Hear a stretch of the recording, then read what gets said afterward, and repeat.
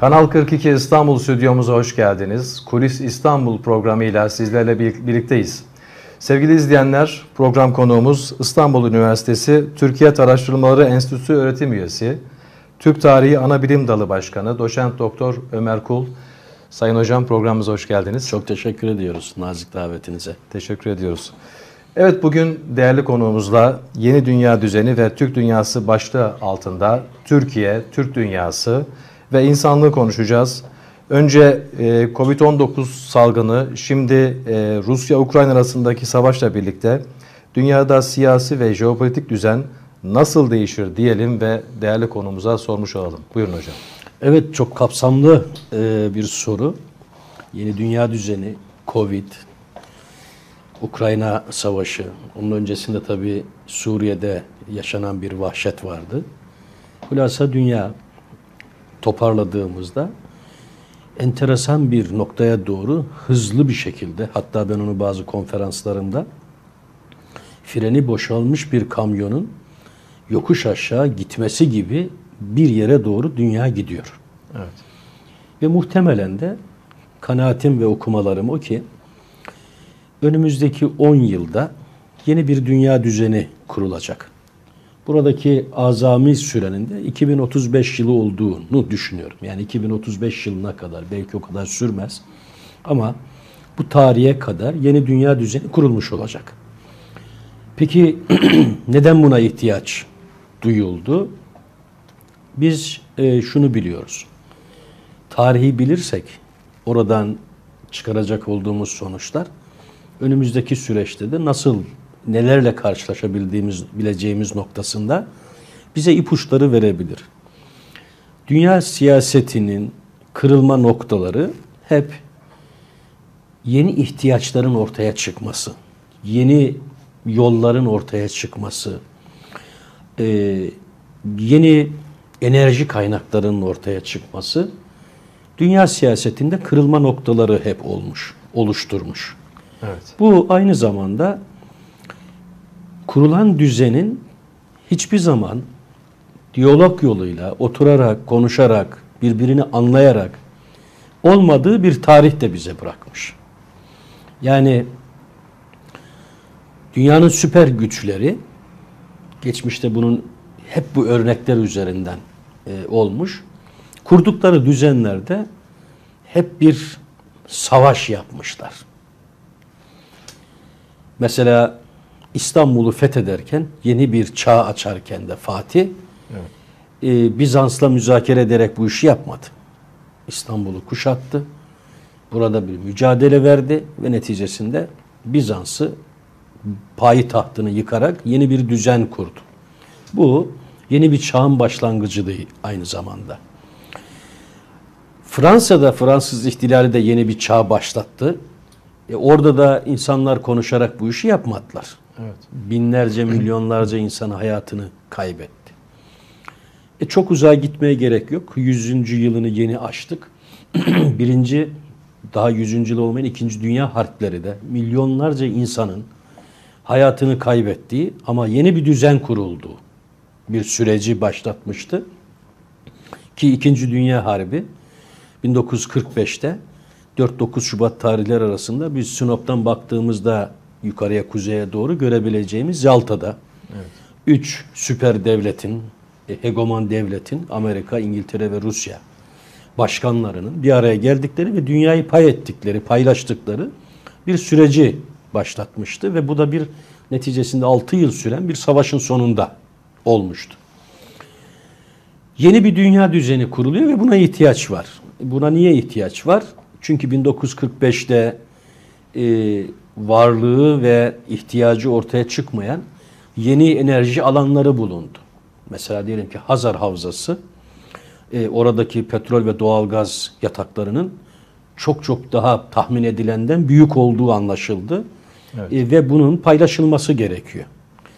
Veya diyelim ki küresel ısınma dolayısıyla Kuzey Kutbu'ndaki buzulların erimesi Arktik kıtasında yeni bir e, enerji rezervleri ortaya çıkardı. E, bunun paylaşılması gerekiyor. Tabii teknoloji çok gelişti. Evet. Yani hayalimizi, ufkumuzu e, aşan şeyler teknoloji üzerinden siber güvenlik diye, siber saldırı diye bir şey hayatımıza girdi. E, bu da yeni bir ihtiyaç doğurdu. E, 1945'te uzayla ilgilenen teknoloji gidilen işte uzayda yaşam alanı var mı diye artık insanlar soruyor. Hulasa bir sıkışmışlık ve bu sıkışmışlığı aşabilmek gayesiyle yeni bir düzen kuracaklar. E, çünkü diyelim ki 2. Dünya Harbi sonrasında kurulan bu düzende e, o büyük güçlerin Orta Asya'da, Or Türk dünyasının merkezi diyeceğimiz bölgelerdeki enerjinin çıkarılması ve kullanılması ve bunun güvenliğinin sağlanması çok çok önemli. Evet. Bu aynı zamanda tabii bir de bağımlılık ortaya çıkarıyor. E şimdi Ukrayna Savaşı'nda biz gördük ki Avrupa Birliği e, Rusya'dan gaz almadığında ya bir Gazsız sıkıntı kalacak. yaşayacak, bir evet. sıkıntı yaşayacak. E, bu e, Doğu toplumları gibi değil ki e, başına vurduğunda otur dediğinde oturacak. Yani Avrupalıyı siz iki saat ısıtmadığınızda o demokrasi kültürünün de gelişmesiyle beraber farklı sosyal olaylara sebep olabilecek. E o zaman ne yapılması gerekiyor? İşte bu enerjinin bir kere tedarik edilmesi bir problem. Ama bunun güvenli bir şekilde başkasına da diyelim ki başta diyelim ki Rusya'ya bağımlı olmadan e, Avrupa'ya ulaştırılması gerekiyor. Bunun çıkarılması gerekiyor. Bilhassa dediğim gibi yeni ihtiyaçlar bu düzenin kurulması için e, yeni arayışları da beraberinde getirdi. Bugün yaşadıklarımız aslında bunun bir tezahürü. Evet. Ama ben şöyle bir değerlendirmede daha bulunuyorum, e, bulunabiliyorum. Bunu son birkaç yıldır da ifade ediyorum. Şimdi her büyük devlet dünya siyasetini yönlendirmek ve oradaki kazanımlarını kaybetmemek adına e, geçmişte yani son 30 yılda 40 yılda bizim başımıza bela ettikleri PKK terörü gibi terör örgütleri üzerinden bölgeleri dizayn etme e, stratejisi yapmışlardı. Yani e, bir terör örgütü destekleniyor. İşte Afrika'da Boko Haram gibi. Veyahut da diyelim ki e, 1979'da Rusya Afganistan'ı işgal ettiğinde e, birileri Taliban'ı ortaya çıkardı. Evet. Onun üzerinden dizayn etti. E, birileri bir taraftan bölgemizde e, PKK terörünü ortaya çıkardı. E bir taraftan Suriye'de IŞİD ortaya çıktı. Ama şöyle bir süreci gördük. Önce bu terör örgütleri üzerinden e, bölgeleri dizayn etme veyahut da buralardaki kazanımlarını kaybetmeme stratejisi. Sonra e, bir sonraki aşaması bunu devletleri karıştırmak. Devletlerde huzursuz iç savaşlar çıkarmak. Bunu mesela Yemen'de, Libya'da, Suriye'de gördük. Evet. Bunun üçüncü aşaması ise küçük devletleri birbiriyle savaştırma şekline döndü. Mesela kimle kimi yaptılar? Yine bizim yanı başımızda 30 yıldır işgal etmiş olduğu Ermenistan'ın Dağlık Karabağ bölgesi e, Azerbaycan'ın inisiyatif alarak bu iki küçük ülke birbiriyle savaştırıldı. Üçüncü aşaması ise bir süper güç diyebileceğimiz bir devletin daha zayıf bir devlette savaştırılmasıydı. Onun da örneğini biz Ukrayna'da gördük. Görüyoruz, evet. Şimdi bunun bir sonraki aşaması büyük savaş dediğim e, o da 3. Dünya Harbi diyebileceğim. Bazıları diyor işte 3. Dünya Harbi çok zamandır başladı ama gidişat buraya doğru. Ve bu anlamda da ben bu e, 3. Dünya Harbi'nin e, biraz daha bu bölgelerden, Orta Doğu'dan, Kafkaslardan, Hazar Havzası'ndan veya Ukrayna'dan biraz daha uzakta e, olacağını düşünenlerdenim.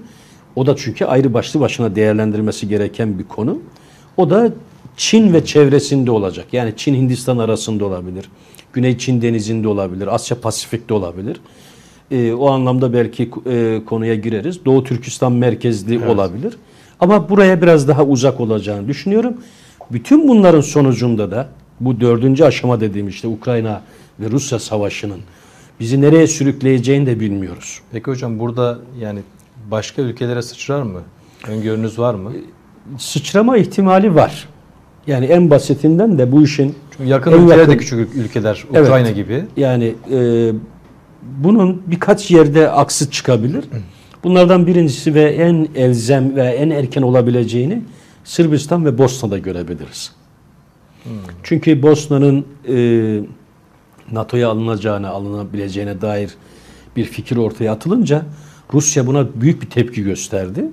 Ve eğer bu olursa benim kırmızı çizgimdir. Bu bölgeyi karıştırırız dedi. Çünkü Sırbistan'ı Rusya ciddi manada manipüle edebiliyor. Ee, bunun bir başka versiyonu mesela Uzak Doğu'da çıktı. O e, tartışmalı olan Japonlarla Ruslar arasında tartışmalı bölge olan Kuril Adaları ile ilgili Japonya bu adalar bizimdir. Bunun devrini biz istiyoruz dediler. Rusya için savaşta e, belki bu pozisyonundan da istifade etmek amacıyla. Rusya da dedi ki Kuril Adalarını bu e, vergiden muaf adalar var ya Evet. e, offshore hesaplarının olduğu Man Adası mesela. Man Adası gibi Evet. bu adaları önümüzdeki 20 yıla e, hiç kimsenin hesap vermediği bir sisteme döndürmek istiyorum dedi. Burada bir şey patlayabilir. Ben mesela şunu bekliyordum. Bu tek Çin e, prensibi ve ideali çerçevesinde Tayvan adasının Çin'e bağlanması hedefi vardır Çin Komünist Partisi'nin. E, madem dünya karışıyor biz de burayı e, bize bağlayalım diye saldırabilirlerdi. Ki Çin'in böyle bir inisiyatif alması, böyle bir harekete geçmesi ciddi manada bir uluslararası dünya savaşını e, tetikleyer, hızlı bir şekilde tetikleyebilir. Ama o da dünyanın sonunda getirebilir. Çünkü e, Üçüncü Dünya Savaşı'na gider o zaman böyle. Tabii Büyük devletler küçük gider. devletlere karşı. Artık o zaman büyük devletler, o dediğimiz dördüncü aşama, büyük devletlerin büyük devletlere karşı savaşı.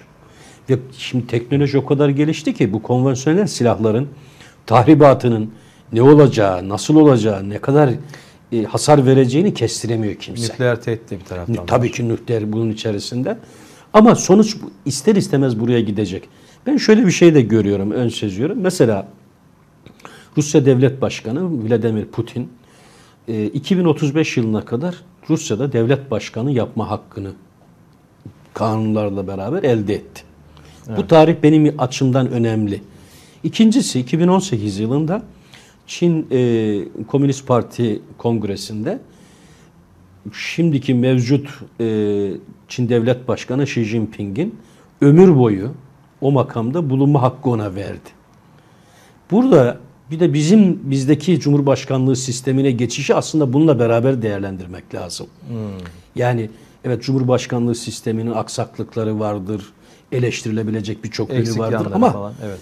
dünyanın böyle işte freni patlamış bir kamyonun yokuş aşağı gitmesi gibi olduğu bir dönemde bu sistem hızlı karar alabilme ve işte diyelim ki e, o demokratik parlamenter sistemdeki hükümet kurma, yıkılma, bir araya gelememe tartışmalarından uzak hızlı karar verme açısından bence doğru zamanda evet bütün sistemin yanlışlığına rağmen doğru bir iş yapıldı. Çünkü bununla uyumlu diye düşünüyorum. Bu da bana şunu gösteriyor. İşte önümüzdeki 10 yılda diyelim e, yeni bir dünya düzeni kurulacak. İşte o zaman Arktik kıtasındaki enerjinin çıkarılması ve dağıtımı, Hazar Havzası'ndaki enerjinin çıkarılması, nakli e, ve yeniden pay edilmesi. E, siz buna Türkistan coğrafyasını da deyin. İşte diyelim ki Çin, Güney Çin denizindeki suni adalar yapan Çin'in hizaya çekilmesi deyin. E, işte Afrika'nın paylaşılması, e, Çin'in oradaki kazanımların ortadan kaldırılması, yeni düzenin kurulması veya Latin Amerika ülkelerinde yeniden işte petrolün çıkarılması, dağıtılması gibi dünyanın bütününü e, göz önüne alacağınız bir yeni paylaşım savaşı, yeni bir Temeli kaos, hocam temeli enerji mi? teni- temeli para, kapital. Kapital. Tabii. Yani biz şimdi hikaye anlatmayalım kimseye.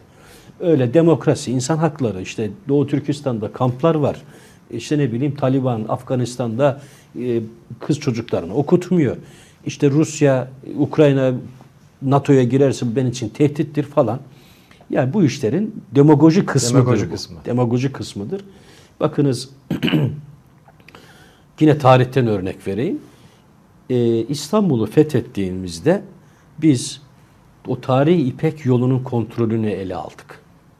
Yani paraya hakim olduk. Akdeniz'i bir Türk gölü haline getirdiğimizde aslında biz kapitali, parayı kontrol ettik. Evet. Ama ne zaman ki Batı coğrafi keşiflerle beraber Afrika'yı ve Ümit Burnu'nu buldu, Doğu'nun zenginliklerini Osmanlı'ya ihtiyaç duymadan batıya taşıma güzergahı buldu. O Avrupa'da sanayi devriminin çünkü Evet. paraya hakim oldu. O sanayi devrimini ortaya çıkardı. Sanayi devrimi Avrupa'da neyi yaptı?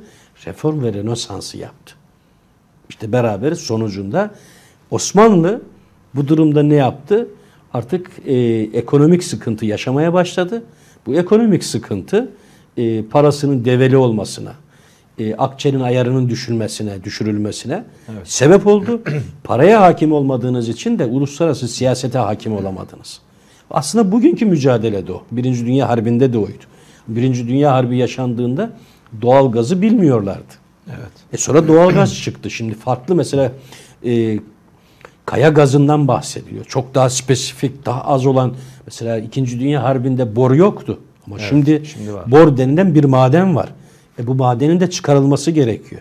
Şimdi onun için duygusallığı bir tarafa bırakacağız. Ben hep böyle değerlendim. Okumalarımın bana verdiği, edindiğim tecrübe bu ki aslında paranın mücadelesi, kapitalin mücadelesi. Siz ona enerji dersiniz, değerli madenler dersiniz, ticaret dersiniz ama neticesinde Para. Para.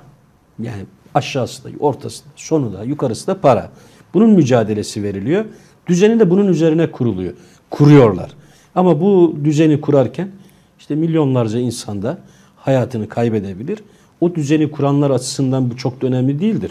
Yani Rusya'nın Ukrayna'ya saldırması iki ülkeyi karşılaştığınızda teknolojik olarak e, Kıyaslanmayacak güç çok kadar. kıyaslanmayacak bir şekilde. E ama şimdi bir ay neredeyse bir ay oldu. Hala bu savaş devam ediyor. Orada da şöyle bir öngörüm var. Bunun e, süreci başladı, başladığı tarihle bitiş tarihini yine bu düzeni kuranlar hesap ettiler. Oradaki benim öngörüm şu. Bu savaşı bitirecekler bir gün. Yani bir ay içerisinde, bir Evet. ay sonra, on gün sonra, üç ay sonra.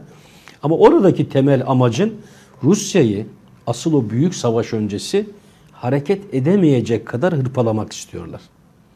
İşte hocam bu soruyu sormam gerekiyor şimdi. Kim mesela? Yani bu düzeni kurmak isteyenler kimler? Çok enteresan belki tarih kitaplarının hiçbirinde yazmayan bir şey paylaşayım sizinle. E, Mendüş Şevket Esendal ismini e, bir kısım akademi çalışanlar bilirler. Veya siyasetle uğraşanlar bilirler. Evet. Mendüş Şevket Esendal çok enteresan bir insandır. E, Osmanlı döneminde Teşkilat-ı Mahsusa'nın Trakya'da e, esnaftan sorumlu başkanıdır. Milli mücadele sırasında Türkiye Cumhuriyeti Devleti'nin Azerbaycan temsilcisidir. Devlet kurulduktan sonra İran Büyükelçisidir. Daha sonra Afganistan Büyükelçisidir. Hatta şöyle bir özelliği de vardır Mendüş Şevket'in. Atatürk'e suikast İzmir İktisat Kongresi'nde öncesinde Atatürk'e suikast yapacak ekibin içerisinde de ismi geçer. İran şey Afganistan'dan döndükten sonra da 1946'da o CHP'nin çok partili hayata geçme kongresinde e, CHP Genel Sekreteridir. Cumhuriyet Halk Partisi Genel Sekreteridir ve çok partili hayata e, Türkiye'nin geçmemesi gerektiğini savunan birisidir. Hatta der ki şayet çok partili hayata geçilirse çünkü o zaman Marshall Planı ve Amerika'nın dayatmasıyla beraber Türkiye çok partili hayata geçmeye zorlanmıştı. E, Mendü Şevket de eğer bu gerçekleşirse önümüzdeki ilk seçimde iktidarı kaybedersiniz. CHP kaybeder demişti ki bu öngörüsünde haklıydı. Şimdi ben onun kendi Osmanlıca el yazması notlarından okudum. Diyor ki e, Mendüş Şevket, İngiltere'nin kraliyetle yönetileceğine, Rusya'da Bolşevik ihtilali olup, e, bunu da yazdığında zannedersem 1927'de, Bolşevik ihtilali olup komünizmle yönetileceğine, İran'ın İslam Cumhuriyeti adı altında yönetileceğine, Türkiye'nin parlamenter sistemle yönetileceğine, işte falan ülkenin şununla yönetileceğine karar veren bir yer var. Bunu ben söylemiyorum. Okuduğum şeyi size söylüyorum. Bunu ben günü tabii ki öyle e, işte Malta şövalyeleri, şehir efsaneleri anlatmaya gerek yok. Evet. Ben buna kapital diyorum. Yani parayı kontrol edenler, o bizim paradan da kastımız ay sonunda aldığımız maaş değil yani. Yani korkunç şeyden bahsediyoruz. Yani doların, dünyanın para rezervini dolar yapan sistemden veyahut da akıldan bahsediyorum. Ona birileri işte bu Rothschild ailesi ve onun gibi aileler de diyebilirler. İşte diyelim ki onunla ilgili e, Hong Kong'da bu ailenin bir kısmının e, Çin'i dizayn ettiği söylenir. Ama ben buna kapital diyorum. Yani büyük para babaları, parayı kontrol edenler, o paranın içerisinde de işte yani teknolojiyi de kontrol edenler, işte altını da kontrol edenler, bu düzeni kuranlar bunlar. Evet. Çünkü paranız kadar konuşabiliyorsunuz. Paranız varsa teknolojiniz var. Teknolojiniz varsa gücünüz var, üretiminiz var, kendinizi savunabiliyorsunuz. İşte ne bileyim e, ihracat yapabiliyorsunuz. Bu sizin halkınızın e, daha refah bir ülkede yaşamasına sebep oluyor. İşin özü şudur. Yani bana tarihin öğrettiği şudur. Bizim insanımız e, çok özür diliyorum seyircilerimizden de geri zekalı değil. Evet. Yani bu millet geçmişte neler yaptı ortada. Üç kıtada hakimiyet kurmuş, dünyaya nizam vermiş bir milletten bahsediyoruz. Onun için o to- onun tohumlarında, genetiğinde bu var. Ama mesele şu. Üreten insan karnı doyan insandır. Yani siz bir gün sonra faturasını nasıl ödeyeceğini düşünen, ay sonu geldiğinde ben kiramı nasıl öderim düşüncesinde olan bir insanın, bu, bunun yüzünden gece uyuyamayan bir insandan siz düşünce üretmesini, ortaya bir şey çıkarmasını bekleyemezsiniz. Evet. İşte o bahsetmiş olduğumuz Türk Gölü, Akdeniz'in Türk Gölü olduğu dönemdeki ekonomik durumunuzla e, sonra coğrafi keşiflerle beraber doğunun zenginliklerinin batıya getirilmesi neticesinde batının zenginleşmesi karnı doyan batılının kafasını çalışmaya başlamasını doğurmuştu. Bugün de aynı durum. Evet bu kapital dediğimiz şey ha onu siz kötü niyetli kullanırsınız, hakim olursunuz. Kötü niyetli kullanırsınız veyahut da diyelim ki ona hakim olup bunu daha iyi insanlık, daha güzel yaşanılabilir bir dünya için kullanırsınız. O da sizin fıtratınızla, inanışınızla, şeciye ve karakterinizle alakalı bir durumdur.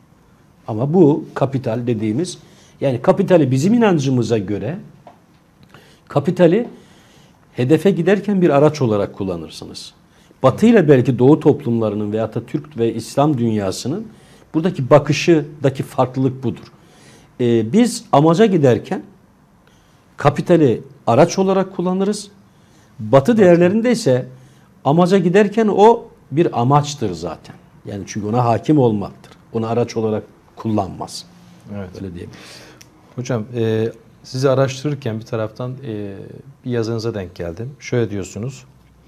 E, yeni dünya düzeninde yeni paylaşım alanları başlığı altında e, kanal savaşları, Evet. e, Kanal İstanbul projesi ve birçok kanal var. Buradan neyi anlayacağız? Evet. E, mesele şu aslında. Yeni dünya düzeni kanallarla kurulacak mı gibi bir cümlenizi hatırlıyorum. Tabii kanal e, kanallarla yeni dünya düzeni kanallarla kurulmayacak ama kanallar burada çok belirleyici hususlardan birisi. Aslında mesele şu. Teknoloji gelişiyor. Yeni enerjiler ortaya çıkıyor. Daha çok ihtiyaç var ve daha çok hızlı bir şekilde ve maliyeti en aza indirerek bunların işte üretim yapılan merkezlere veya üretimlerin pazarlara aktarılması gerekiyor. Ve biz bu anlamda biliyoruz ki bugün dünya ticaretinin büyük çoğunluğu en az yüzde sekseni ve daha fazlası da olabilir su yollarıyla denizler üzerinde gemilerle taşınıyor. Evet. O zaman buradaki mesele şu. Ee, bir, bu mesafeleri kısaltmak gerekiyor. İki, bu mesafelerin kullanımdaki yoğunluğu azaltmak gerekiyor. Mesela İstanbul, Kanal İstanbul projesinde de bu yapılsın e, diyenlerin argümanlarından birisi mevcut boğazın gemi trafiğinde sıkıntı yaşaması dolayısıyla. Evet. Ee, ama başka projeler de var. Mesela e, Nursultan Nazarbayev'in Hazar Denizi'ni Karadeniz'e bağlama kanal projesi var. Veyahut da İran'ın çok büyük hayalini kurmuş olduğu Hazar'ı Asya'da Basra Körfezi'ne bağlama projesi var. Amerika bununla ilgili çok net tavır koydu. Bunu yaptığınızda bu bir savaş sebebidir dedi. Rusya da bu projenin mesela e, hayata geçmesini istiyor. Mesela bir başka proje Süveyş kanalı 1871'de açıldı.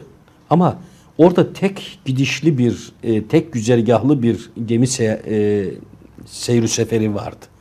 Gemi, e, Mısır devleti 2016 yılında Süveyş kanalının ikincisini açtı. Paralel bir kanal daha açtı ve bu, bu sefer karşılıklı gidiş gelişler. Bu sefer İsrail onu görünce Ee, İsrail'de Süveyş kanalının tam Akdeniz'e bağlama noktasının iki ucu vardır. Bunların birisi İsrail'e doğru gider. O Akdeniz'e bağlı değildir. Mısır'a doğru giden o uç Akdeniz'e bağlanmıştır. İsrail de bu sefer kendisine geleni 350 kilometre uzunluğundaki bir projeyle Akdeniz'e bağlama projesi hayata geçirmek istedi. Şimdi aynı dönemlerde biz Kanal İstanbul'u tartışmaya başladık. Tabi oradaki şu noktasında değilim. Yani bu çünkü çok polemik konusu yapıldı. Söylediğiniz bir Siyaset söz malzemesi yapıldı. Si- siyaset malzemesi yapıldı. Ben şu noktadayım her zaman. Yapacak olduğumuz iş devletin ve milletin menfaatine ise ve akabinde de insanlığın menfaatine ise bu işi yapalım. Bu işi yaparken de neticesinde jeolojik olarak veya mühendislik olarak benim alanım dışında bir şey. Ben o konuda bir yorum yapmam. Ee, yapmam doğru olmaz. Yani söyleyecek olduğum şey bu anlamda siyasi değil veya siyasi bir mülahaza değil yani. Ben şuna bakarım. Böyle bir projenin yapılmış olması Türkiye'nin milli menfaatlerine faydalıysa yapılacak. Ama şart düşüyorum orada. Mesela e, sadece Kanal İstanbul'u yap- yapmak yetmeyecek bize. Bir de Gelibolu Ege'ye bağlayacak bir projeden daha bahsediliyor ki bu Birinci Dünya Harbi sırasında Alman generallerinin buraya bir boğaz açalım dedikleri bir yer yani.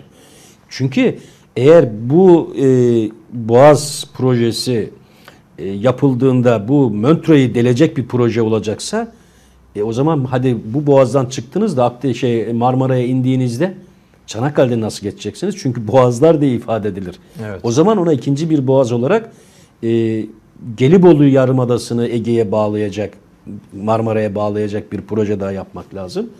Orada riski şuydu. Yine aynı, aynı kanaatteyim. Yani bunu ifade etmem lazım. Bunu bilim adamları, alanın uzmanları mutlaka onunla ilgili çalışmalar yapın. Ben hepsini okumadım. Ama burada kanaat getirilecek. Bu bir siyasi malzeme olmaktan çıkarılmalı. Başka bir şey diyorum orada tehlike arz ettiği husus şu. Mesela e, Çin tehlikesi. Mesela Çinliler bu Boğaz projesini yapmaya çok heveslendiler. E, ben de dedim ki böyle bir şey yapılırsa Türkiye açısından riski işte İstanbul'un 39 ilçesi var. 40. ilçe Çin ilçesi olur. Çünkü Çin'in bu anlamda dünyaya nüfus e, yaydığını gönderdiğini biz biliyoruz. Bu şimdi uzun soluklu bir proje. Burada gelip çalışacak olan Çinliler e, bu sürenin sonunda vatandaş olabilirler. Dikleri ülkelerde bu yoğun nüfusları derse e, Chinatown diye kasabalar kuruyor bunlar. Bu riski almamamız gerekiyor. Orada mesela bir alternatif olarak şunu söylemiştim ben. Mesela Mısır bunu yaptı.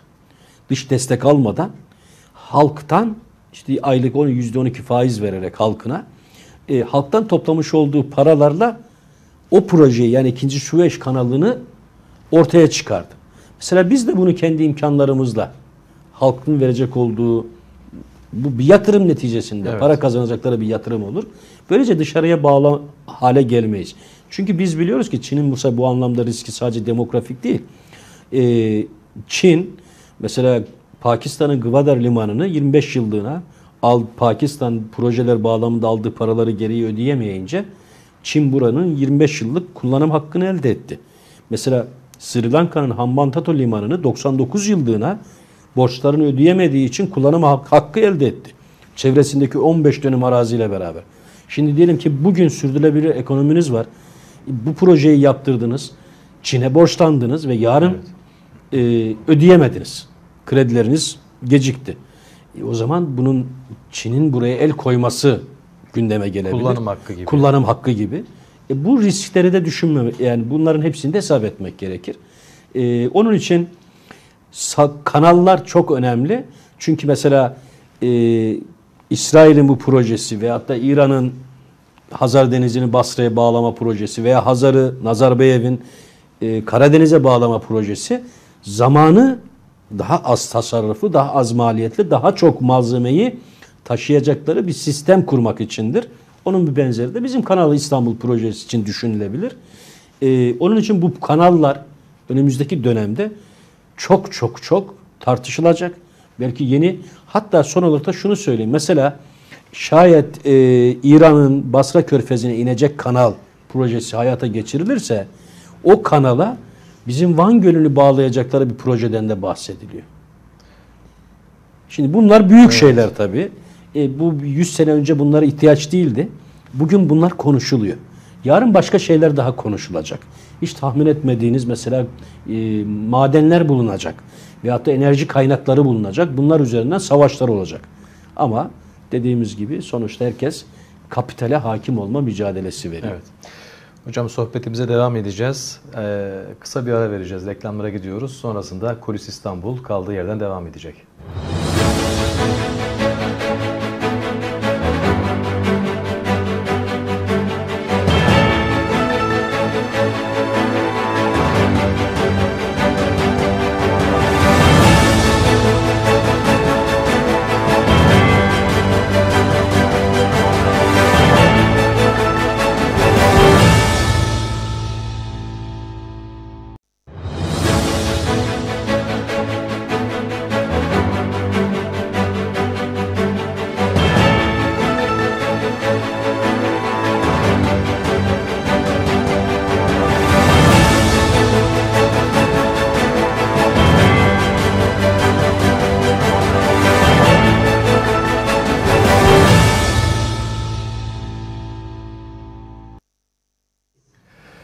Kanal 42 İstanbul stüdyolarında Kulis İstanbul programı devam ediyor. Ee, ekranlarını yeni açan izleyicilerimiz için konumuzu bir kez daha sizinle tanıştırmak isterim. İstanbul Üniversitesi Türkiyat Araştırmaları Enstitüsü e, öğretim üyesi Türk Tarihi Ana Bilim Dalı Başkanı Doçent Doktor Ömer Kul'la sohbetimiz devam ediyor. Hocam e, yeni dünya düzenine geçiş yapılırken bizde e, Türk Devletler Teşkilatı kuruldu. E, bunun yeni dünya düzenindeki yeri ne olur? Evet, e, yani önemli bir e, gelişme bence bu. Ama yeterli mi e, noktasını da sormak lazım. Yeni bir dünya düzeni kuruluyor ve burada e, bugün en az 300 milyonluk bir e, Türk dünyasından bahsediyoruz. Evet. Bunun en büyüğü de Türkiye Cumhuriyeti Devleti. 85 milyona yakın nüfusumuz var. İşte Türk dünyası dediğimiz 6 7 bağımsız Türkiye ile beraber devletimiz var. Gerçi Kıbrıs'ı hala daha tanımıyor birçok e, ülke. Onun haricinde Rusya Federasyonu içerisinde e, özel cumhuriyetler, özel bölgeler dahil olmak üzere. Hala daha mesela e, Hindistan'da çok ciddi bir Türk nüfusu var. E, ondan habersiziz. Hulasa 300 milyon bazıları bunu 600 milyona kadar büyütüyor. Böyle bir dünyadan bahsediyoruz. Ve e, görünürde bir teşkilat var. Bu da işte en sonki daha önce Türk Keneşi, Türk Konseyi, Türk Devletler Teşkilatı'na e, evrildi. Süreç zor bir süreç. E, Nurullah Bey öyle söyleyelim. Çünkü bu dünyada bir Türk algısı ve Türk fobisi de var. Bunu kabul edelim. Evet. Yani ecdat atının üzerine binmiş, kıtalar gitmiş, kıtalar yönetmiş. E, bu bir korku ortaya çıkarmış. Yani onun içinde bu Türk milletini e, şaha kaldırmak, ayağa kalkmasına bunun izin vermek demek. Bunun tekrar eski e, nizamını kurabilme, dönüm dönme ihtimali evet. vardır. E, onun içinde bunu hiç kaldırmamak e, hayali kurulur dünyada. Bunu böyle kabul edeceğiz. E, ama yeni de bir düzen kuruluyor. E, burada da bu koca dünyanın hak ettiği yerde olması için tabii ki kimse size iyi ve güzeli hediye etmiyor. Bunun için mücadele etmek gerekiyor. 1991'de Sovyetler dağıldıktan sonra ortaya çıkan e, bağımsız Türk devletleriyle Türkiye ilişkilerini hep geliştirmeye çaba gösterdi. Ama o uzun yıllar hem Çarlık Rusyası döneminde hem de Sovyet Rusyası döneminde e, bugünkü bağımsız Türk devletleri milli kimliklerini, benliklerini unutma noktasına gelmişlerdi. Çünkü o Rusya'nın hem Çarlık döneminde hem de sonraki dönemde hatta Rusya Federasyonu döneminde e, ortaya atmış olduğu Nikolay Ilminski'nin o dil doktrini üzerinden her biri sanki birbirinden bağımsız birer milletmiş gibi e, bir siyaset gütmüştü. Evet. Hatta öyle bugün Fergana Vadisi'ni bilenler Sovyetler Fergana'dan yani Orta Asya'dan, Türkistan'dan çekilirken öyle bir coğrafya bırakmışlardı ki her an kavga edebilecek, her an savaşabilecek e, bir ortam ortaya çıkarmıştı. Bu geçen 30 yıllık sürede birçok şey halledildi mutlaka. Ama hala daha mesela ortak tarih yazımı veya ortak alfabe kullanımı noktasında bununla ilgili birçok ilmi akademik toplantılar yapıldı. Ee, ama bir sonuç alınamadı aslında. Evet. İşte en son e, Kazakistan'da yılbaşında bazı olaylar yaşandı. E, Nursultan Nazarbayev 30 yıl Kazakistan'ı ortaya çıkaran Kazak Milli Devleti'ni, ulus devletini e, ihya eden bir adamdı. Ama onun Türk dünyasına yönelik o ufku açan e, görüşlerinden Rusya Federasyonu Putin rahatsız olmuştu. Nasıl biz Türk dünyası diyorsak Putin de bir Rus dünyasından bahsediyordu ve bu Rus dünyasının olmazsa olmaz devletlerinden birisi Kazakistan'dı. Yani bu şekildeki e, Türk Devletleri Teşkilatı'na giden ve bu ismin açıklanması sonrasında Kazakistan'da bu olayların yaşanmasını biraz da bundan duyulan rahatsızlığın sonucu olarak okumak gerekir. Ve orada Nazarbayev amiyen tabirle tasfiye edildi. E, o Türk dünyasının aksakalı pozisyonunu etrafındakilerle beraber evet kötü bir yönetim vardı Kazakistan'da. Ama bundan bir rahatsızlık duyulmuştu. Bu rahatsızlığı da en başta Putin ve Rusya Federasyonu'nu yönetenler duymuştu. Ee, ve ilk mesela Tokayev'in açıklamalarından birisi Kazakistan devleti Latin alfabesine geçecekti. Ee, Tokayev bu olaylardan sonra bunu askıya aldığını ilan etmek durumunda kalmıştı. Ama akabinde Ukrayna Savaşı e, başlayınca, işgali başlayınca Rusya'nın Tokayev bu sefer tekrar döndü ve 2023 yılı itibariyle Latin harflerine geçeceklerini söylediler. Şimdi hayal başka, gerçekler başka. Eğer e, mevcut dünya siyasetinden e, rahatsızsak ki bunun insani olmadığını, eşitlikçi, paylaşımcı, adil olmadığını e, Sayın Cumhurbaşkanımız çok net bir şekilde bir cümleyle beraber ifade etti. Ne dediler? E, dünya beşten büyüktür. Elhak evet. doğru bir sözdür bu. Ama bu düzeni kuranlar da bunun için bir şeyler yapmışlardı. Evet rahatsızlığımız var. Belki bu rahatsızlığın e, bir yansıması olarak biz Türk Devletleri Teşkilatı'nı kurduk. Ama şunu görmemiz gerekiyor. Bizim Türk dünyası ile Türkiye'nin arasında Ermenistan diye bir devlet var. Kuzeyinde Gürcistan, güneyinde İran diye bir devlet İran. var ve sizin Türkiye'nin Türk dünyasıyla fiziki bağı yok. Araya bir uydu devlet koymuşlar ve sizin bu bağınızı koparmışlar. Türk Devletler Teşkilatı kültürel anlamda bir şeyler yapıyor, e, ekonomik anlamda bir şeyler yapıyor. Yeterli mi? Bence yeterli değil. Ama bu fiziki birliği sağlamadıktan sonra da bunun bir pakt haline dönmesi, mesela Şangay İşbirliği Örgütü gibi, Arap Ligi gibi veyahut da diyelim bağımsız Rusya'nın yaptığı bağımsız devletler topluluğu gibi bunun e, bir sonuç vermesi, istenilen, arzu edilen, etkisi olan e, bir sonuç vermesi de zor gibi gözüküyor. Bazen evet. e, sıkıntılı sonuçlar, olaylar yeni fırsatlar doğurabilir. İşte e, biz son 10 yıldır Batı ile birçok problem yaşadık. Ee, İsrail'le, Mısır'la, Doğu Akdeniz'de yaşadık. Yunanistan'da, Ege Adası'nda kıta hava sahanlığı meseleleri, Kıbrıs meselesi, Mavi Vatan meselesi. Ama bugün geldiğimiz nokta itibariyle e, bu Batı'nın enerjiyi e, kendi ülkesine getirebileceği e, sağlıklı alanlar Türkiye yani yüce yaradanın bir hikmeti diyeyim ben buna öyle inanıyorum. Türkiye jeopolitik anlamda çok önemli bir yerde ve bunun içinde işte İsrail'de gelip görüşme yaptı uzun bir zaman sonra. E, Yunanistan geldi. Hollanda geldi. Dün düne kadar e, birçok ağır ifadeler kullanmıştık ve Ukrayna Savaşı'nda Türkiye'nin duruşunun çok önemli olduğunu söyledi. Evet. Azerbaycan'la Ermenistan bir e, işte orada Rusya yine faktörü var istediğini sonuçta işgal edilen toprakların hepsini Azerbaycan alamadı ama evet.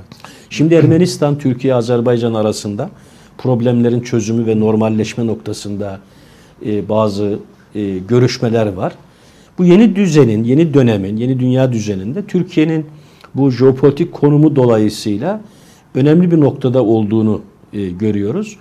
E, ve şayet işte İsrail'le Kıbrıs meselesi, Batı Trakya meselesi, e, Ege meselesi halledebilirse, şu PKK terörü e, ortadan kaldırılabilirse, top, tabii ki bizim hiç kimsenin toprağında gözümüz yok ama bizim için risk olan Suriye meselesi e, bir şekilde düzene konulabilirse, Ermenistan'da da problemler çözüldüğünde ben inanıyorum Türk Devletler Teşkilatı bu anlamda e, daha farklı şeyler yapabilir. Ama bunu, ben bunun yeterli olmadığını düşünenlerdenim. Şöyle, e, evet biz de Türk Devletler Teşkilatı üzerinden Turan'ın kurulduğu, işte bir Turan ordusu kurulabilir mi mesela bu Evet. e, konuşuluyor. Turan da hocam soracaktım ilerleyen sürede ama Tam e, yeri gelmişken yeri gelmişken e, öncesinde jeopolitik bir kaos var mı Türk dünyası açısından söylüyorum. jeopolitik ister istemez var. Çünkü şimdi Türk dünyası demiş olduğunuz coğrafya bakın Kazakistan. Evet. E, dedik ya bu enerji havzasının e, Hazar önemli bir noktasında ve buna komşu olan devletlerimiz var. Türkmenistan, Azerbaycan, işte güneyinde İran, e, Tacikistan her ne kadar Fars olsa da Türk olmasa da ama bu coğrafyada Kırgızistan, Afganistan'ın içinde olduğu durumu biz biliyoruz. E, ve bu coğrafya enerji bakımından çok çok önemli. Ve bir tarafında Çin diye bir ejderha var. Bir tarafında Rus işte ayıyla ifade ediliyor. Bir tarafında da bu bölgede olmak isteyen Amerika ve Batı var. Evet. Şimdi bu kadar e, herkesin karıştığı, herkesin pay almaya çalıştığı bir dönemde e, ekonomik anlamda her ne kadar e, doğalgaz ve petrol olsa da maalesef hem demokratikleşme anlamında hem insan hakları anlamında hem de bu devletlerin buraları karıştırmaları anlamında ciddi bir sıkıntıları var bu devletlerin. Evet. Onun için yapılması gereken çok şey var. Bir de tabii ki o az önce bahsettiğim Turan'la ilgili husus onu önemsiyorum. Yani o çok önemli bir konu. Evet. Ee, bizim ufkumuzu biraz daha farklı ama milli olacak şekilde de değerlendirmemiz gerekiyor. Yani evet e, Sayın Cumhurbaşkanı'nın bu ifadesi el hak doğrudur diyoruz ama evet itiraz ettiğimizde projemizin ne olduğunu da ortaya koymamız gerekiyor. Evet. E, Ben şunu şöyle değerlendiriyorum. Türkiye'de e, maalesef biraz daha dar bir çerçevede düşünülen, konuşulan, e, sloganlaştırılan e, bu Turan kavramının bir tartışılması e, gerekir. Ki Turan kavramını e, ilk olarak Turancılık üzerinde fikir olarak Hocam bilmeyenler için soralım. Yani Turan neresi hocam? Evet. Turan nedir? Önce bunu bir soralım size. İzleyicilerimiz önce Turan'ın ne olduğunu, neresi olduğunu bir öğrensinler. Ondan sonra bence açalım. Hay hay. Şimdi e, Turan bir coğrafyadır. Coğrafyada kastımız da şudur. Türklerin ilk ortaya çıktıkları bugünkü Yakütistan coğrafyasından, bugünkü biraz daha görünür hale getirelim Moğolistan'dan, bugünkü Doğu Türkistan'dan ulaşabilmişleri, gel, gelebildikleri Avrupa'nın içlerine kadar yani Macaristan puştaları diye ifade edilen bu coğrafyanın tamamı Turan coğrafyası olarak ifade edilir. İşte güneyinde e, Çin'in olmuş olduğu, kuzeyinde, kuzey batısında bugün Moskova, Rus kinezliklerinin olduğu ama Macaristan'dan ta Asya Pasifik'e kadar ki bu coğrafya aşağıda Orta Doğu'da bunun içerisindedir. Hatta e, Osmanlı ile beraber e, Afrika'nın kuzeyi, Kuzey Afrika'da buna dahil edilir. Mısır'da Tolunoğulları devletini kurmuş Türkler. E, Hindistan'da Osmanlı kadar en az yaşamış olan Babur İmparatorluğu vardır ki 1865'te 1870'lerde İngilizler Babürleri ortadan kaldırarak Hindistan'ı e, sömürge haline getirmişlerdi. Şimdi coğrafya bu olunca ve işte m, Birinci Dünya Savaşı öncesinde Macaristan bilim adamları Avrupalıların kendilerine karşı ön yargılı olmaları ve kendilerinden görmemeleri üzerine biz nereden geldik, biz kimiz sorusunu sormuşlar. Ve bu sorular, e, bu akademik e, çalışmalar kendilerini bizler de Turani halkız noktasına getirmiş. Onun için e, bugün mesela diyelim ki Türk Devletler Teşkilatı'na gözlemci olanlardan birisi Macaristan. Tabii ki daha sonra Birinci Dünya Harbi ile beraber hatta Fransız ihtilalinin bir sonucu olarak bu Turancılık çalışmaları coğrafi kavramın dışına çıkarak Türkiye'de Türkçülüğe evrilmiştir. O Türkçülük de işte e, Turan'la karıştırılarak Türk Birliği sanki Turanmış gibi algılanmaya başlamış. Bundan dolayı da bunun aslında tartışılıp ben şuna inanan birisiyim Nurullah Bey. Ee, evet Avrupa Birliği bir Hristiyan kulübü. 60 yıldır buraya girmek için uğraşıyoruz. Belki daha fazlası var. Evet. Ama hem Türkiye'nin bu yoğun nüfusu dolayısıyla bir risk olarak görüyorlar. Büyük nüfusu dolayısıyla. Hem de Müslüman, Türk olmamız dolayısıyla e, o kulüp içerisinde Türkiye'yi görmek istemiyorlar. Rusya ne yapıyor? Rusya mesela bağımsız devletler topluluğu kurdu. İster istemez o uzun yıllar orayı yönettikleri için, sömürdükleri için ve bu devletlerde kendi iradelerini ortaya koyamadıkları için Rusya'nın bu teklifine kabul etmek durumunda kaldılar. Bir Çin ortaya çıktı. Batı çıkardı ona inanan birisiyim. Bir Çin çıktı ortaya. Bu da Şangay İşbirliği Örgütü diye bir örgüt kurdu. Aynı Çin kendisine komşu olan güneydeki işte Malezya, Endonezya, Tayvan, Kamboçya, Tayland gibi, Laos gibi ülkelerle de ASEAN diye bir teşkilat kurdu. Bir yapı kurdu. Mesela Araplar Arap Ligi'ni kurdu. Amerika Pax Americana kurdu.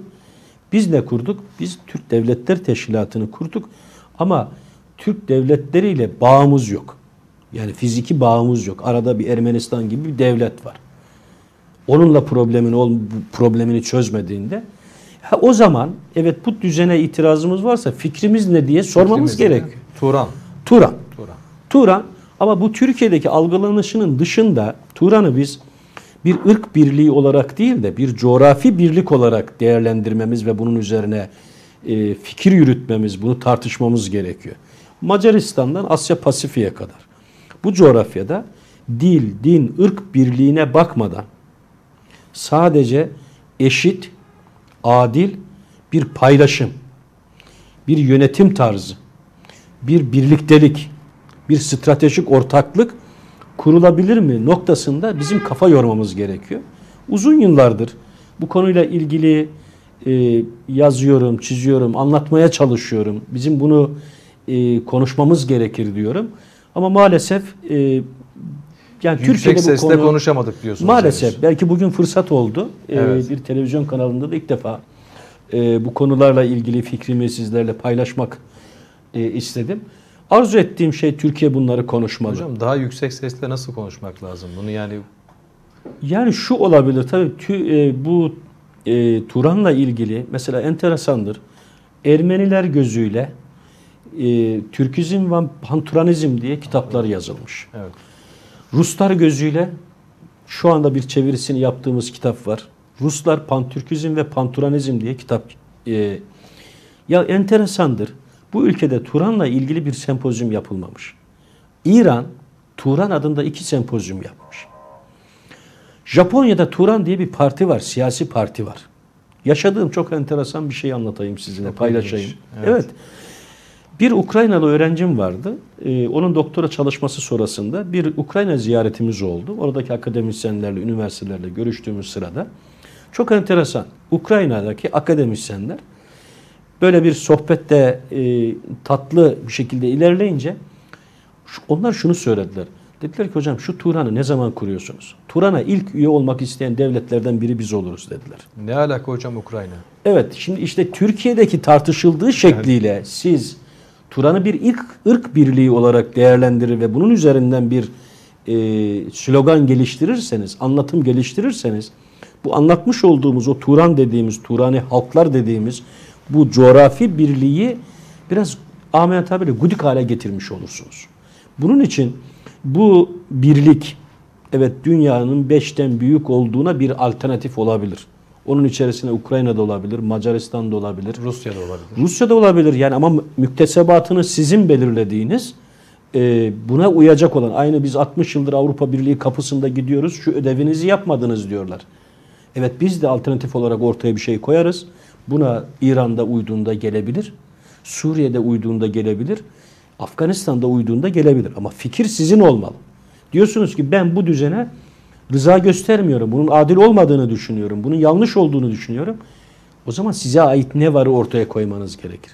Ben Turan'ın bu anlamda hatta güzel de bir söz bulmuştuk. Turan Barış Yolu projesi. Evet bu coğrafya tarihin en başından itibaren günümüze kadar kaoslarla hep birilerinin yönettiği, birilerinin ezdiği, birilerinin biri, birine kırdırdığı aslında inanış itibariyle de e, coğrafya olarak da birbirine yakın bir kaderi paylaşmış bir coğrafya.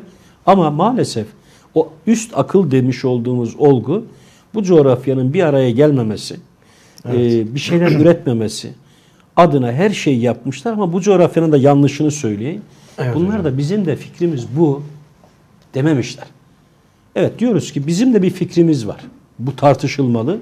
Bu anlamda sizin e, vasıtanızda söyleyelim. İvedilikle hiç zaman kaybedip kaybedilmeden hele bu Türk Devletler Teşkilatı'nın kurulduğu bir dönemde, hele dünyanın yeni bir dünya düzeninin kurulduğu bir dönemde bizim de fikrimiz var deyip bu konuda Turan konusunda kim lehte veya aleyhte hiç bakmadan kim ne yazmışsa bunları toparlayabileceğimiz ivedilikle bir e, Turhan sempozyumu yapılmalı.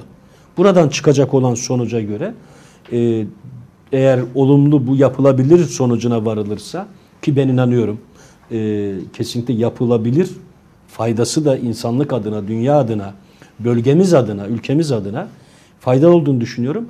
Bundan sonra bu devlet siyaseti haline getirilebilir. Ama ilk etapta böyle bir sempozyum yapıp Yüksek sesle konuşulması, lazım. konuşulması, tartışılması ve sonucunun da kamuoyuyla paylaşılması ivedilik de gerekiyor diye düşünüyorum. Evet. Hocam e, şimdi gençler üzerinde bir soru sormak istiyorum size. Evet. E, gençler Türk dünyasını tanıyorlar mı? E, yani ne kadar tanıyor gençler? Evet. Biraz da bunun üzerine konuşalım. Tabii benim e, böyle hissiyatım olan bir husus. E, ben gençleri önemsiyorum. Bizim geleceğimiz gençler. Ama bu Türk dünyasını tanıma, değerlerini anlama, bununla ilgili fikir sahibi olma noktasında da maalesef e, burada aynı ümit içerisinde değilim. Neden? Ben her yıl başında yeni dönem başladığında eğitim hayatında öğrencilerime mutlaka ama mutlaka verdiğim ders neyle alakalı olursa olsun harita çizmeyi o konuyla alakalı, o konuda geçen şehir isimleri, dağlar, nehirler, ülkeler, şehirler ne geçiyorsa o derste anlattığımı haritayı elleriyle çizmesini isterim. Şunu gördüm üniversitede. Mesela tarih bölümü 4. sınıf öğrencisi Ulan Batur'un nerede olduğunu, Karakurum'un nerede olduğunu, Urumçi'nin nerede olduğunu, Herat'ın nerede olduğunu, Buhara'nın nerede olduğunu, Kazan'ın nerede olduğunu, Asarhan'ın nerede olduğunu bilmiyor. Mesela bir anımı anlatayım size. Bir derste bir öğrencime e, Kaşgar nerede haritada bana göster dediğimde tahtaya çıktı. Haritada Kaşgar'ı arardı. Ona tebessüm eden bir öğrenciyi yakaladım. Dedim ki sen biliyorsun herhalde sen çık göster dedim. O da göremedi, o da bulamadı, gösteremedi. Böylece belki tahtaya kimse sığmayacak şekilde bütün öğrencileri kaldırdım. O bana şunu gösterdi. E, coğrafya kaderdir. Eğer coğrafyayı bilmezseniz bunun size getirecek olduğu riski de faydayı da bilemezsiniz. O zaman bizim Türk dünyası dediğimiz bu coğrafyanın nereden ibaret olduğunu, e, hangisinin bizim dini değerlerimizle, milli kimliğimizle alakalı olduğunu bizim öğretmemiz gerekiyor. Tabii bu e, Sovyet döneminde komünizmle yönetiliyordu bu coğrafya ve gidiş gelişler yok denecek kadar azdı. Türkiye'den bu dönemde birileri Türkistan'a gitmiş olsa e, Rus istihbarat KGB elemanları Evet. e, bunlar zararlı insanlar deyip arkalarına 2-3 kişi takarlardı. Ama 91'de Sovyetler dağıldı. Burada bağımsız devletler ortaya çıktı. E, şimdi gidip gelmeli. Buraya da işte e, Havai adalarına tatile gideceğinize Buhara'ya gidin. Orada ecdadı görün. E, Türkistan'a gidin. Yesevi'yi görün. Veya Ötüken'e gidin. Bilge Kağan'ı görün. Onun için e, bu yeni dönemi çok daha iyi değerlendirmek gerekiyor. E, burada da tabii ki gençleri bu yönde de yönlendirmek gerekiyor. Anlatmak gerekiyor. Balkanlardaki tarihle e, Buhara'daki tarihin aynı olduğunu, menbaanın aynı olduğunu, bizim için aynı şeyi ifade ettiğini bizim yeni nesle anlatmamız gerekiyor. Evet. Bu da ancak bu ilişkileri önemsiyorum mesela bu anlamda teşekkür de ediyorum. Bizim Yurt Dışı Türkler ve Akraba Topluluklar Başkanlığı diye bir teşkilatımız var. Ee, bu yurt dışından birçok öğrenci getiriyor yüksek lisans doktora. Lisans içinde getirdiğin ama ben e, daha ziyade yüksek lisans ve doktora öğrencilerine yönelik e, yaptıkları faaliyetleri biliyorum, takip ediyorum. E, bir sınavı yapmak için Moğolistan'a gittiğimde Ulan Batur'da e, içeriye girerken pasaportumu verdiğimde karşılayan kişi Türkiye'den geldiğimi görünce Türkçe olarak hoş geldiniz nereden geliyorsunuz dedi. O Türkçe bunu sorunca yanındaki a Türkiye'den mi geliyor dediler. Gümrükteki herhalde 7-8 kişi geldi hep beraber Türkçe konuştular. Bir dakika dedim ben. Nereye geldik? Türkiye'de bir vilayete mi gittim? Hayırdır? Deyince dediler ki biz Türkiye'de okuduk. Bunu çok önemsiyorum. Oralardan tabii ki öğrenciler getireceğiz. Onlarla onlara Türkiye sevgisi, Türk dünyası sevgisi de aşılayacağız. Aynı şekilde biz de oraya öğrencilerimizi göndereceğiz. Artık o yörenin dillerini de öğrenecekler, lehçelerini de öğrenecekler ve bu e, kültürel, ekonomik, siyasi aklımıza gelebilecek her alanda bizim irtibat kurmamız gerekiyor bu coğrafyayla. Hocam e, programımızın yavaş yavaş sonuna geliyoruz. Ne çabuk bitti Vaktimiz Bey. evet yani çok e, keyifli bir sohbet oluyor bu arada. Çok E, teşekkür Şimdi ederiz. Doğu, Doğu Türkistan Doğu Türkistan e, kanayan bir yaramız ama e, bir, bir programa ya da programın sonuna bunu sıkıştırmak çok doğru değil ama kısa da olsa e, Doğu Türkistan'ın stratejik öneminden biraz bahsetmek istiyorum. E, bahsetmenizi rica ediyorum sizden. Hay hay. Ee, evet. Bilmiyorum okudunuz mu bir yazımda ben e, Türkiye'nin güvenliği Urunç'da başlar diye bir yazı yazmıştım. Ee, Doğu Türkistan maalesef kanayan yaramız. Bizim şunu yani çok konu var da ama özetle şunu söylemem lazım ki şayet e, Doğu Türkistan'daki yaşanana, yaşananlara, yaşatılanlara dünya dur demezse tarih ikinci Endülüs'ü yazacak. Bu kadar söyleyeyim. Tabi orada e, Doğu Türkistan dediğiniz coğrafya bizim ülkemizin iki buçuk katı büyüklüğünde bir coğrafya. Evet. Bir başka şey daha söyleyeyim. Ee, Bosna neyse bizim için, Suriye neyse, Libya neyse, Cezayir neyse, Kırım neyse, Doğu Türkistan'da o. Neden? 1863'te Doğu Türkistan'da bir devlet kuruldu. Yakup Han, Kaşgar merkezli Yakup Han kurdu ve Osmanlı'ya bir heyet gönderdi. Sultan tarafından bu heyet kabul edildi. Bu heyet geriye gönderildikten sonra, döndükten sonra Doğu Türkistan'da halife adına hutbe okutulup para bastırıldı. Şimdi başka bir şey demeye gerek var mı? Yok hocam. O zaman Suriye neyse Doğu Türkistan'da o. Biz bugün Doğu Türkistan'da ne kadar insan yaşıyor bilmiyoruz. Maalesef. Çünkü orayı Çin dünyadan tecrit etmiş vaziyette. Hiçbir haber alamıyorsunuz. Aldıklarınız da zaten içler acısı. Yani milyonlarca insan toplama kampı denilen kamplarda bedava çalıştırılıyor. Keyfe keder muamele görüyor. Tecavüz ediliyor bu insanlara. Yani hocam orada ne yaşanıyor bunları anlatsanız. Hayır bunu anlatmama gerek yok ki.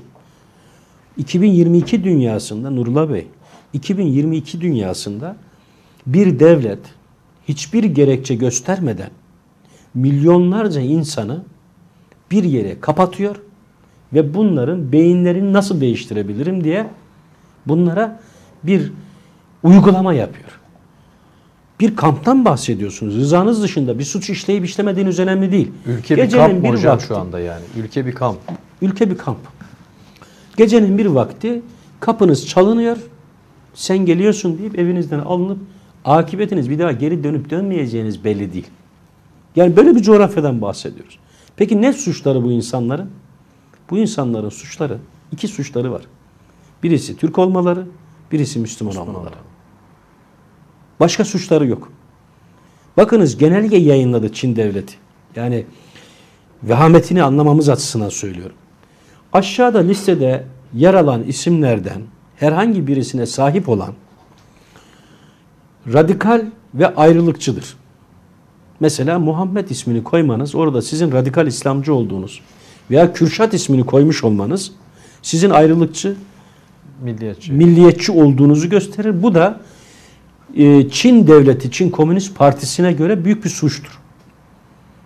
Sizin Müslüman olmanız veya sizin Türkçü olmanız hastalıklı bir ruh haline sahip olmanız demektir ve bunun da tedavi edilmesi gerekir. Bunu ben söylemiyorum. Bunu resmi ağızdan Doğu Türkistan'da Çin Komünist Partisi'nin genel sekreteri söylüyor. Evet. Böyle bir coğrafyadan bahsediyoruz. Daha korkuncunu size söyleyeyim. Yetişkinleri bu şekilde kamplara alıyorlar. Yaşları 16 ile diyelim 35 arasında gücü kuvvetli olanları e, bedava olarak fabrikalarda çalıştırıyorlar. Köle işçi olarak. Daha korkuncu ne biliyor musunuz? Adına bizimle dalga geçer gibi melek evleri dedikleri 3 ile 13 yaş arasındaki çocukları da kreşlere toplayıp tam bir dinsiz olarak, tam bir milliyetsiz olarak yetiştirmek üzere onları değiştirip dönüştürüyorlar. Hocam Doğu Türkistan anlatıyorsunuz ama vaktimiz e, maalesef bitti. E, nasip olursa bir başka programda özellikle Doğu Türkistan'ı konuşmak isteriz. Biraz yarım kaldı aslında. Keşke daha önce girebilseydik. E, yani dinledikçe Bizim- aslında bizim- çok soru sorasım geliyor ama Evet, e, teşekkür ediyorum. Yani bunu bu da bir, aslında bunu bile yeterli ama şöyle söyleyeyim ben Nurullah Bey e, bununla alakalı. Ben de uzun süre başkanlığını yaptım. Doğu Türkistan'dan 1952'de Türkiye'ye gelen İsa Yusuf Altekin Doğu Türkistan'ın efsanevi lideridir. Onun adına evlatları tarafından kurulan bir vakfın da başkanlığını yaptım uzun süre. Yakın bir zamanda başkan yardımcımıza devrettik yoğun işlerimiz Evet. dolayısıyla. İsa Bey'in şöyle bir vasiyeti vardı. Diyor ki ben Doğu Türkistan davasını Türk milletine emanet ediyorum. İki, vasiyetim şudur ki sizden bir kişi dahi Doğu Türkistan davasını anlatmanızı isterse bu kişi kutuplarda da olsa iki eliniz kanda da olsa gidip onu anlatın diyordu. Siz böyle bir şey talep ettiğinizde o benim dini, milli, insani, vicdani vazifemdir. Her zaman gelirim. Dilim döndüğünce de anlatırım. inşallah hocam bir e, başka bir programda tekrar İnşallah. inşallah, sizi ağırlamak isteriz. Teşekkür Ee, ederim. çok teşekkür ediyoruz konuk olduğunuz için, değerli bilgilerinizi ediyorum. aktardığınız için. Evet efendim Kanal 42 İstanbul stüdyolarımızda Kuris İstanbul programında bugün konuğumuz doçent doktor Ömer Kul'du.